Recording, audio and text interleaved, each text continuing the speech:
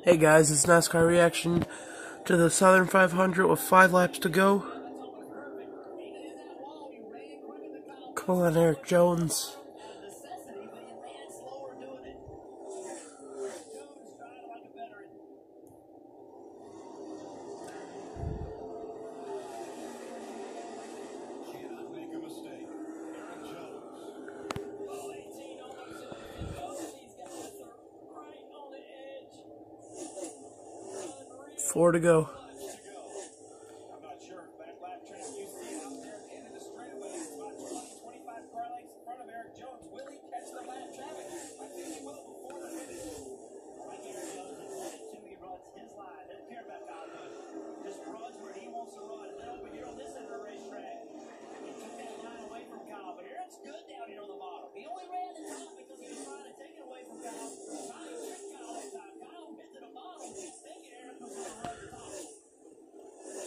Three to go.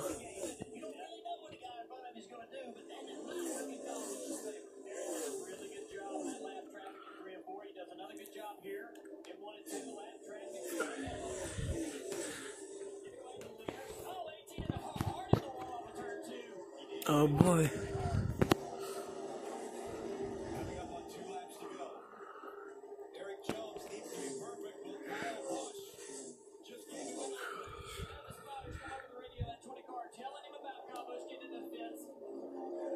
Two to go.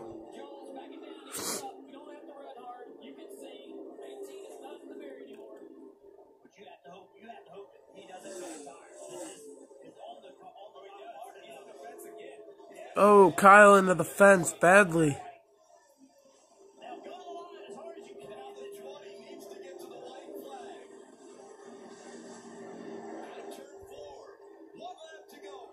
One lap to go, not sponsored by Credit One Bank. Shut up, Rick Allen.